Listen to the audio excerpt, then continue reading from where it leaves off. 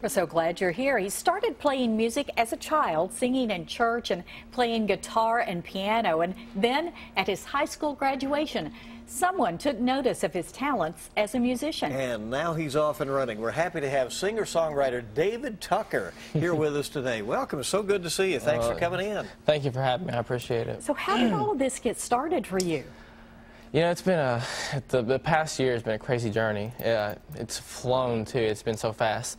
Um, I was actually got to sing uh, at my graduation last May mm -hmm. of 2015, and uh, when I was done, it wasn't but a couple days later, um, uh, Nick and Nina Clooney got in touch with me, and um, uh, they decided they thought they should help me out. Which mm. when they when they told me that, I, have always wanted to do something in music my whole career. I just I've loved it. It's all I've ever wanted to do, um, but you know didn't know how to come about it. So when they came up to me and told me that, I was Sure, you know, I was like, that'd be great. Great you people obviously to have on your them. side. Oh yeah, and I'm uh, thankful. Uh, what are you hoping the future holds for you now? I just I want to keep you know furthering my music career and uh, to keep writing songs and to eventually you know just um, to to get out there you know and I would love for everybody to hear my music and uh, to get my songs to come to my shows and you know one day hopefully to kick it off.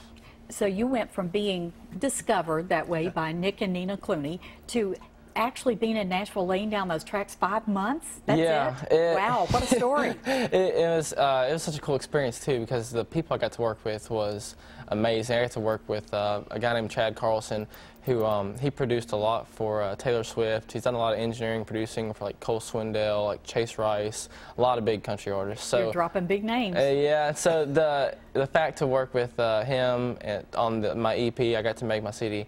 It was awesome. I got to songwrite with him also and uh, it, it, was a great experience. It was awesome. Now you're putting on a concert uh, this Saturday. You've played in some small venues, mm -hmm. but mm-hmm. this time it's uh, really your name in the lights, and you've about sold out a, a yeah, large venue. Uh, it's and uh, I'm so thankful too because you, are right. I played a lot of small places in here, and uh, the the show in May it's almost sold out. Like there's like um, 500 people, you know, coming, and, and, it just blows my mind that I have that kind of a following from my hometown. It's, um, I'm so grateful, really. That is wonderful. And all, what else is wonderful is we're going to get to hear from you, too. Uh, there is the information, davidtuckerofficial.com. And uh, stay with us, a special musical performance from David. And that's coming up next, right here on WKYT. Stick around for that.